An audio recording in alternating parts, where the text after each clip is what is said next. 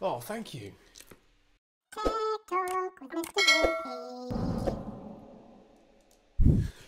Okay, I've been excited about getting this for a while. It came in a different box to this, but I removed the outer packaging because, I mean, the postman looked healthy, but you can't tell these days. He could have had the coronavirus, not the coronavirus.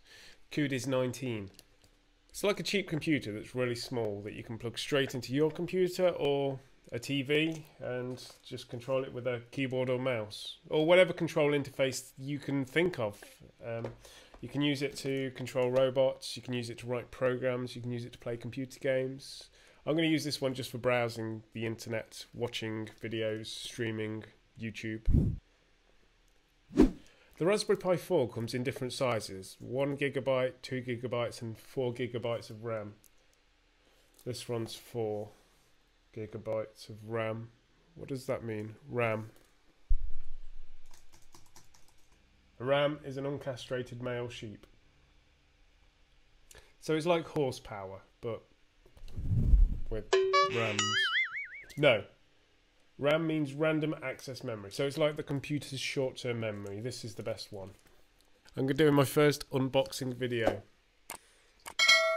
Let's open it. This is very exciting.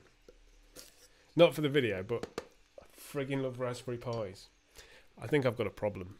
This is the Raspberry Pi Zero, Pi 1. This is the Raspberry Pi 2, 3, version 1 and version 2. This is a Raspberry Pi 4. This is also a Raspberry Pi 4, but it's a bit better.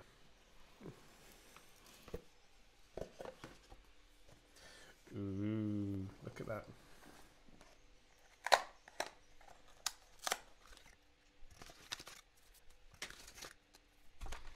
Okay, that's the Raspberry Pi 4 power supply. That's actually quite a nice case. HDMI output. I think that's either the micro or the mini. I can't remember what they're called these days. A memory card. You got a little fan. Keeping it cool. It's Cool enough already, but you know. What the fuck is this? Little little dingle dangle dongle. Sexy little tiny screwdriver. And here's three heat sinks. We have to attach them. The large square heatsink goes on the main processor here. The rectangular one goes on the memory here. And the small square one goes on the USB chip here. Okay, let's do that.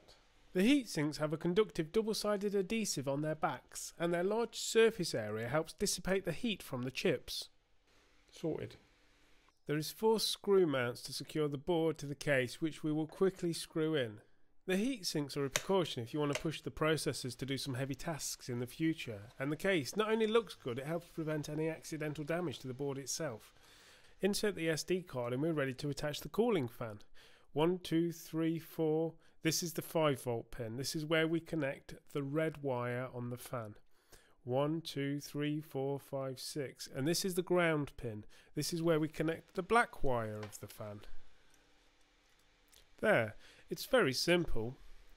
Try not to get it wrong. You want these two pins. When you connect the fan, for optimal performance, you want it to be drawing air in through the top and blowing it straight over the heat sinks. Now let's give it a test to see if it works. Brilliant, and we've got it connected the right way round. So let's put the lid on and see if it all works. It's a bit noisy. But some people think that little fans are cool. I do like this case though. I'm going to go and install this on one of the old TVs we've got to make it a computer. Move this fucking thing. Shit. Ah, here we go. The classic Raspberry Pi rainbow box. There's the Raspberry Pi logo. And boom, there's our Raspbian desktop OS. So when we boot up for the first time, the username of the Pi is Pi. PI. And the password is Raspberry. You want to change these before you do anything. And go with something more secure than password. There's lots of automated bots crawling around the web looking for ways to get into your systems. Once you put in your Wi Fi password, you're ready to go surfing. Or even have a little explore, see what this computer operating system can do for you. If you want to do some word processing, this is very good.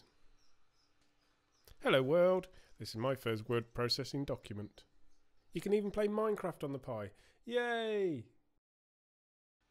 One of the other things that you should get to know with the Raspberry Pi is terminal. When you open terminal, write the command sudo apt-get update. Don't forget the hyphen.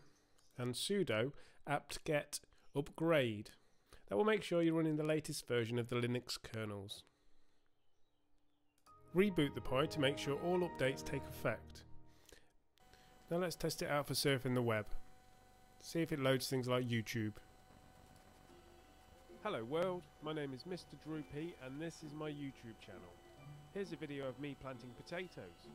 Amazing, right?